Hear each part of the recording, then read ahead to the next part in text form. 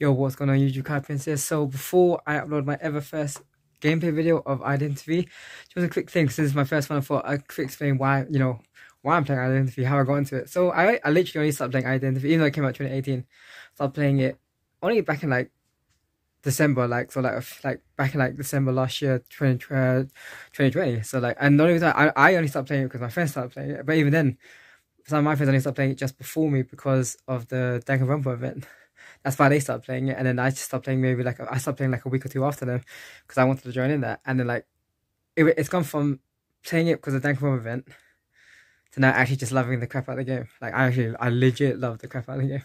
So like quick thing, favorite hunter, Bloody Queen, favorite survivor, uh, coordinator. Um, I prefer playing even though I've been playing a lot of Survivor recently, I still prefer, I generally prefer playing Hunter over Survivor.